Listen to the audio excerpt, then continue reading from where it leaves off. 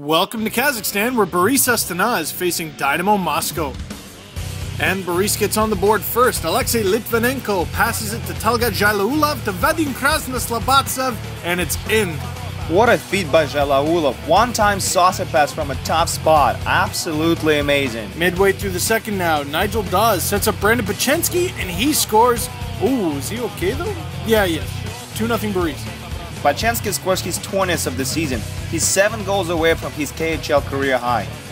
Third period now. Konstantin Rudenko has the puck. He storms into the zone, almost loses control of the puck, but still scores 3 0 Barys. These are always tough to catch. Technically, it's not a broken play, but it really is. Late in the third, Krasnoslobodtsev to Polishuk to Zhailaulov, and it's in 4 0 Barys. Big lead late in the game, lights out. This one is done and over with. Dynamo scores two goals thanks to a huge blast from Alexei Tsvetkov and Ilya Gorokhov, but there's no time for anything else. 4 2 Barys final.